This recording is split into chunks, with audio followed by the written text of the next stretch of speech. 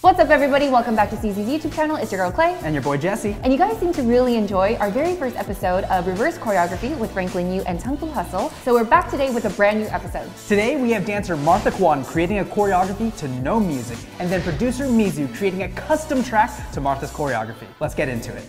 Hi, my name is Martha Kwon. I've danced with Maker Empire, AC Hip Hop, and most currently I'm with Culture Shock Los Angeles. I took inspiration from sounds that I already know that I like. I tried to add what I felt like would be a climax, right, and like what would be a build up. I had a really hard time keeping track of like the pattern that I wanted to use. So I ended up making my own soundtrack. Um, this is really embarrassing, but.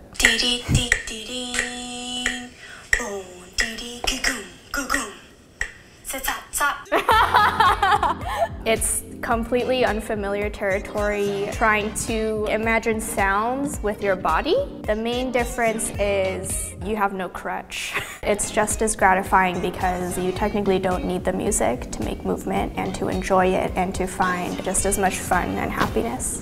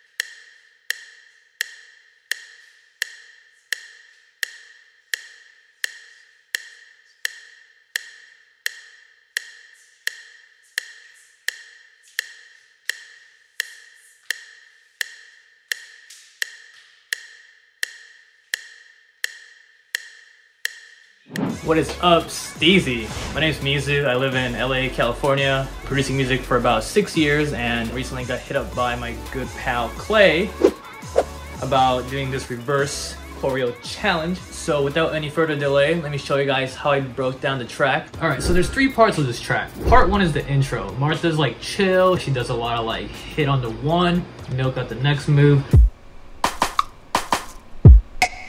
Swag. Part two is where Martha turns it up. So we come in with this bounce, some fat 808s, some rapping going on. What's fun about producing is you can make your own samples. The is actually me. It's a nice background sound that gives another groove to the dance. Part three is when she wants to have some fun the thing about producing songs like this where sections change, you have to give the listener a chance to adapt. I do this by giving a little preview of what the third section is supposed to sound like. She did this little like stalling move right here. The first time I saw that, I, I just imagined a clock ticking. I'm all about being creative with my sounds. Like, for example, you can hear me go oi in Japanese. Oi, oi. And the final section, we got that future bass going on. Instead of using hats, which was like the obvious choice, I did a little arp that goes. With that being said, I just end the song with her little head nod. So overall, this was a lot more challenging than I expected. I wanted it to look more natural. Once everything started to come together, I was like, this is the right move. Like, I can't go back anymore. I've gone too far. That's definitely one of the hardest parts about producing music. Once you get to a certain part, it's kind of hard to unhear or unsee what you did. Something I learned while making this track was just, you gotta experiment, like no matter what. A lot of us get in a routine when we've been doing something for a long time. So I really enjoyed this challenge. And you know, Martha, when you watch this, I hope I did your choreo justice. Hope you guys enjoy it.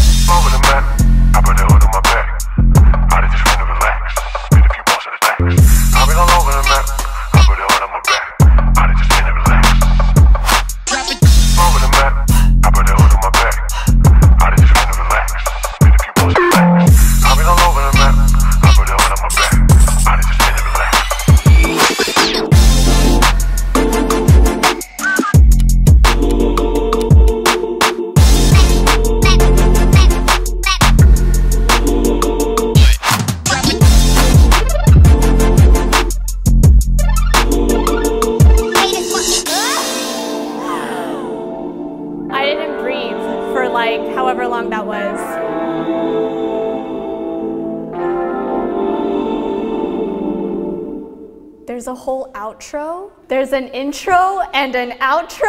Oh my god. This goom goom goom goom goosh. The way he used it and the sound that he used to emphasize it was like beautiful. It's gonna make me cry. if this were something that were pre-released, I probably would have been a lot more aggressive. Shout out to Mizu for making a super dope. Oh, I'm still like. I'm still sweating over it, but shout out to Mizu for making such a beautiful track. Thank you so much for watching. Peace. Thank you all for tuning in to our second episode of Reverse Choreography. You can find these two on Instagram, and you can find the song in the description below. And we'll see you in the next one.